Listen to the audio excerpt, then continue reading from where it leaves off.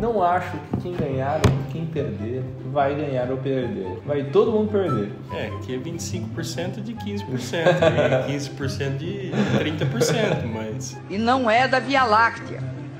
É de uma galáxia chamada Rio de Janeiro. Assim, a gente conseguiu eleger uma, uma presidente que não conseguia falar. Até hoje eu não sei o que ela quis dizer.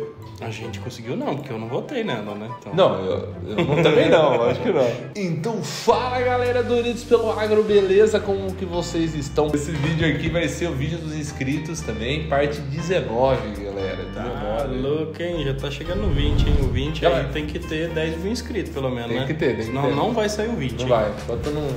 Na verdade vai, o 21 que não que o 20 já tá pronto. Não, tem que falar que não vai. Não vai, não vai. Galera, se inscreve aí, pelo amor de Deus, galera. Meu cabelo tá caindo, quero conseguir os 10 mil antes de perder os cabelos. O Alan quer, quer conseguir antes de ter um milhão na conta. Ah, não, isso já tem, né? Não vai chegar. Vai demorar um pouco, hein? Então, galera, vocês já sabem aí, vídeo dos inscritos, manda no nosso Instagram, explicando, filmando na horizontal, Exatamente. mostrando coisas legais aí pra E nós. vamos falar pra ele se inscrever agora? Se inscreve aí, galera. Inscreve aqui, ó, ó. o botãozinho, Ó, sininho. sininho, Inscreve. tá? Então é isso aí, galera. Curte, comenta, compartilha. Bora lá.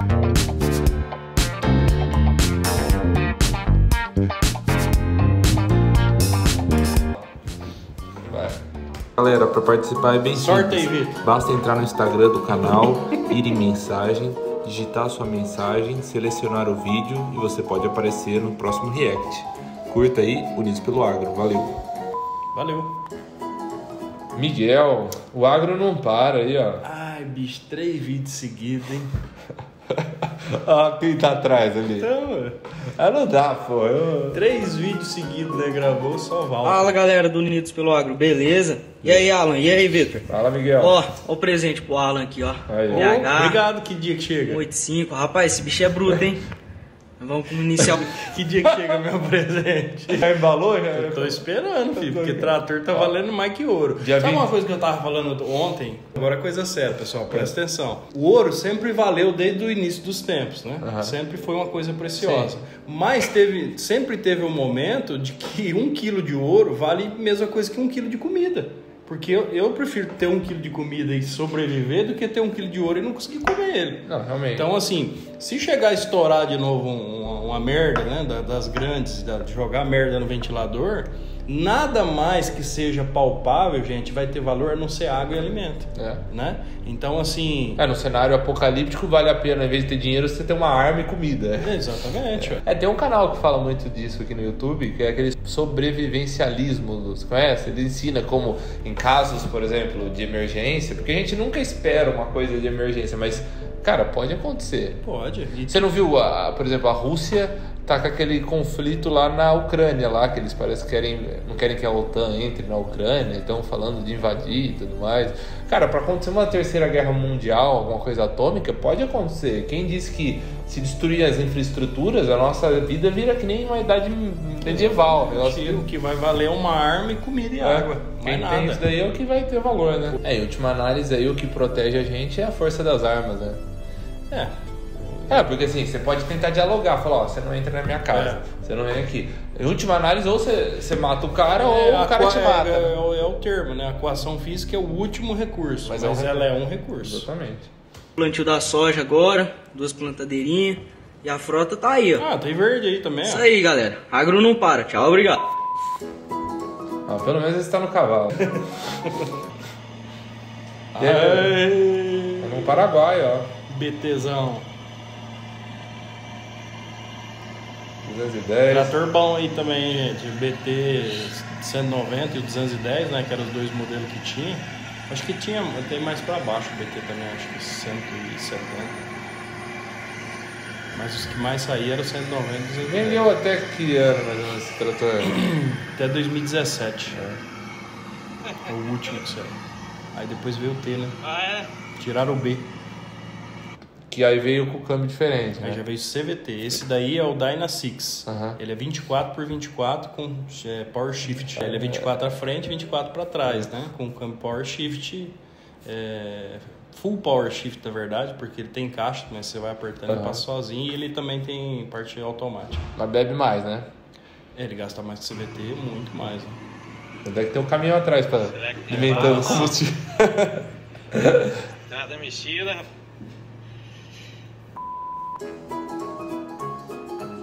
Alec. Ah, esse menino aí fez um vídeo até. Ah, foi ele. Cara, eu esqueci de compartilhar. O cara fez do Farm Simulator É. com a Alan Pasquim. Que caro, Chico. Fala, é pessoal, que bom tá, dia. senhor? Pessoal, É, vamos dar uma é o olhada na modelo. mandioquinha. Do Save. Chutando na mandioquinha. Vamos ver como é que tá a mandioquinha. o cara parecia mesmo com você, meu. Fala aí, Vitor. Falei, Alan. E todo o pessoal aí do canal Unidos pelo Agro. Que é, as primas? Aí, ó, finalizando, ó. As galináceas. Mais uma carguinha aí de caspenosa. Os guri não param aí, ó. Os guris. os Amanheceram guri é batendo mexido, né, carga os de guri? frango aí. Que nem diz o Janho. Os Yeah. guri é terrível, os guri. Vocês tem que fazer o Farm Simulator, Vitor e Alan, entendeu? Unidos pelo agro. Aí você coloca. Coloca o trator azul, ou Azul, amarelo. aí tem como dar porrada. Eu nunca joguei Farm Simulator, tem como dar porrada um no outro. Você... Não, só Ah. dá pra correr em cima, acho só. Do... Tem mais um caminhão lá esperando tem ser o o GTA, resto. né? Tem GTA. O GTA dá pra dar porrada. Vamos jogar GTA San Andreas? Aquelas, já jogou GTA San Andreas? É. Aquelas missões do agro que você tem que roubar a colheitadeira. Tem isso lá? Tem? Você nunca jogou? Não. Ah, então tem que jogar. 29 mil, tinha. Dá até pra você. Você vê que o trator. Tem um trator no GTA San Andreas, né?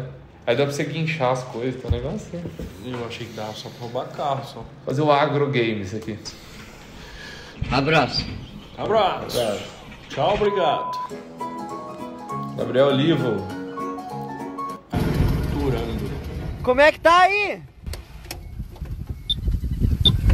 Viu, a semente acabou faz tempo, mas o adubo Tem um saco. Tem mais um saco.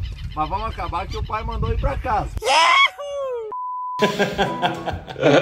os caras. Ah, os caras são muito doidos que seguem a gente no canal, né? Gente, não faz vídeo assim, senão os outros vão achar que é agricultura desse jeito. os caras já querem ir embora já, não terminou nem o serviço. O, o estrangeiro vai vir e fala, não vou investir nesse país. Quem dera se fosse assim, né? Enquanto não acabar o plantio, fi, vai até de madrugada. Thiago de Brida. Fala Alan, fala Vitor, fala galera do canal Unidos pelo Agro. Vim mostrar lavoura de arroz um pouco mais diferente do que muitos estão acostumados a ver, né? Os vídeos que eu vi de vocês, pelo menos eu vi mais aqueles arroz mais pra lá, né? Que é mais plano. Aqui é um terreno mais elevado, mais desregular. Pode ver lá, fica uma muito mais alta e outra mais baixa, assim. E seguimos na lida, tá chovendo. Fizemos o plantio do arroz sequeiro também. Esse aqui é arroz feito barro. Como E que será que fizemos da produz planta de... mais, né, Vitor? O sequeiro ou o Então, banhado? será que é por, por, por conta de região, assim, por exemplo? Tem região que vai melhor um, região que vai melhor outro? Não sei também. O cara olha assim, lá, que curvona de nível. Tamo junto. É em degrau, Aqui é o né? plantio de arroz sequeiro, é uma roça mais distanciada daquela outra. Pro lado de lá tem duas taipas, pra cá tem três. Vou começar a colocar água também. Aqui é, foi passado veneno lá também, botando água lá. Aqui vem água dessa mangueira aqui. Ali tem outra. Tá aí. Tá sobrando Arroz água Santa ainda, Catarina. Tamo junto. Forte abraço. Forte abraço. Tem que ficar caindo essa água direto aí? Tem que ter água, hein, cara? É. Pra largar isso aí. Mundrungo. Sabe o que é mundrungo? É o cara que não toma banho.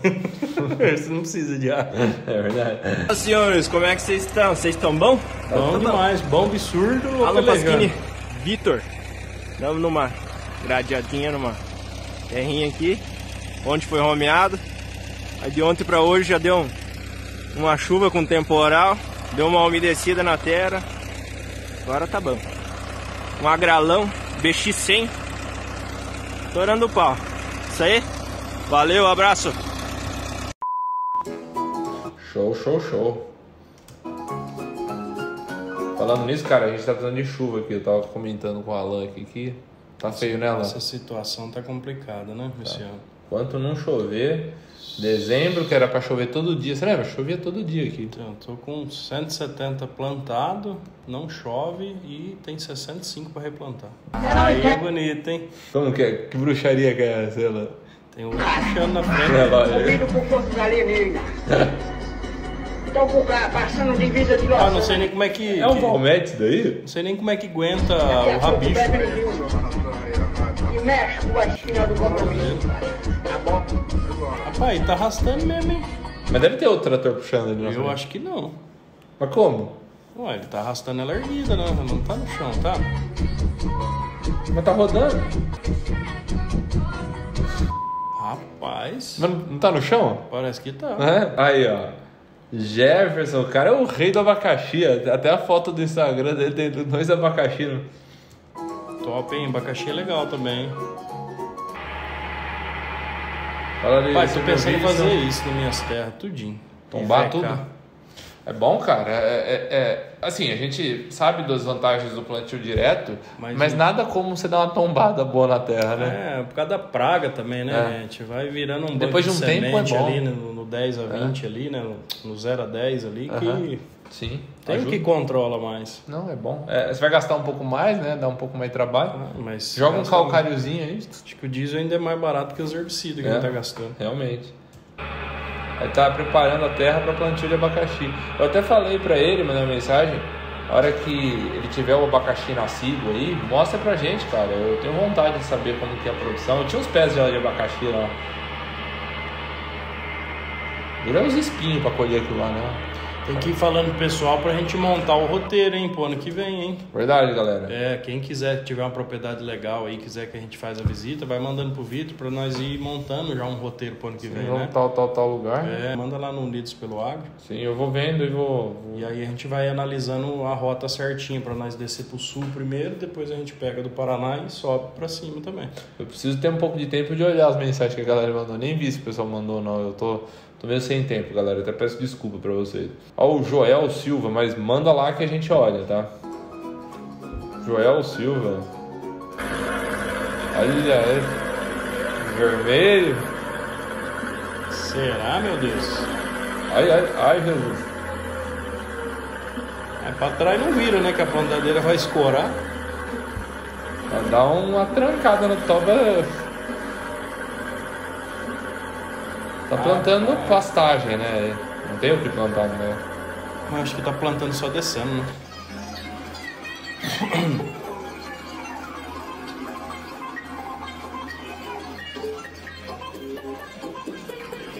Tinha que colocar essa coisinha de tico e teco com as direitos autorais, chamou.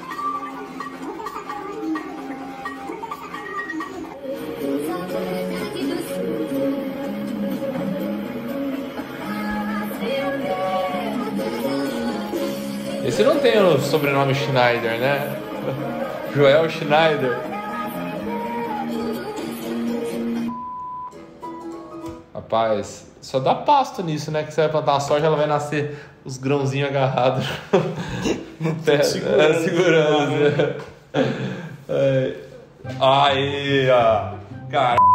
pô. Aqui, ó. Piada TL, caramba. É isso que eu tô falando, galera. Piada do TL brabo. Bravo. Ô brabo. Ele Ô não, ele não brabo. aceita outra coisa. O que aconteceu aí? Me deixa em paz e larga essa bosta aí antes O que, que aconteceu, Piá? Tá bravo? Quem quebrou o capô? Foi tudo desgraça mesmo. Mas cala a boca. Vocês já viram que os caras já começam É os caras pecuária. É, são os caras mais divertidos, É galera. verdade, o cara tem que ter bastante senso de humor pra trabalhar com ele. tem que ter paciência, tem que ser um cara de boa com a vida. Você viu? Até a roupa do cara, até a cueca do cara é azul. Piá. Fecha. Piada do TL, o brabo. Não fecha. Os caras estão se lascando aí. Ó o charai. Aí, ó. É o C de. Você viu? Calça azul. É. O jeans, né? Então agora o jeans que inventou deu o Howard. Tá entendendo?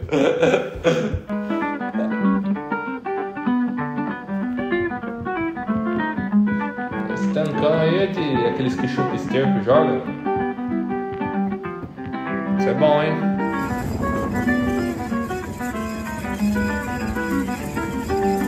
Aí vem um cara que não entende nada e fala, ô, tem que engraxar as rodinhas aí, tá rendindo. Gente, isso é os raspador de disco que faz esse barulho, não são as rodinhas. Direto eu escuto isso, ô, tá, tá faltando Então, graxa. plantadeira novinha aí, você É. deixa você engraxar. E as pazinhas que raspam os discos de, de- de plantio. E acabou. Tchau. Você engraxou a sua plantadeira, né? Engraxa, tem, tem as coisas de engraxar lá? No momento só tem um bico de engraxa. Ah, é? Mas como que os caras Só fizeram? tem um bico de engraxa só. Só na onde engata no rabicho ali. Que... Só? Só. O resto é tudo blindado e bucha de Kevlar. Rapaz, mas se der algum pepino lá, acho que deve Não custar dá, caro. Tem, tem plantadeira de, de, de teste da fábrica rodando já há mais de 5 anos já. E não estoura nas buchas, só rolamento mesmo, normal. Aham. São blindados, você tem que Sim. substituir. Mas do resto, a mecânica da plantadeira é excelente. Só que como ela tem muito dispositivo elétrico, pode ser que mais pra frente dê problema nos dispositivos elétricos, sensores. O que, que você não gostou dela? Além do preço. Eu vi, eu tava com o P assim, ó. Além preço. do- Além do preço. Abastecimento de semente, a boca estreita, é ruim de abastecer um pouco o caixote. O peso dela, ela é muito pesada, né? Poderia ser um pouco mais leve, mas para isso eles estão desenvolvendo a versão menor. Você gostou da abertura dela? A abertura é o transporte, na verdade, né? Muito bom, né? É muito bom, 3,60 metros. É uma excelente plantadeira, pessoal. E os- as coisinhas, os detalhezinhos que tem, eles estão resolvendo tudo. Agora não precisa mais desmanchar as porteiras da fazenda? Não precisa, tive que mexer. O Alan, quando ele arredava a ia toda. "Ô, agora eu vou plantar, arranca essa porteira. Arrancava as porteiras. Tive que arrancar duas porteiras É. pra passar com a minha plantadeira. Tem umas que eu nem- levou a pequena, tá? Lá, lá não foi a grande. É. Aí está. Lá foi só a John Deere. Então é isso aí, galera. Manda uns vídeos pra gente aí. Obrigado por quem mandou. Curte, comenta, compartilha. Tira o peru da boca. Já tá no Natal já? Tá quase, tá, Tá quase. quase, tá na véspera. Não. Tá vendo? Feliz pelo ar.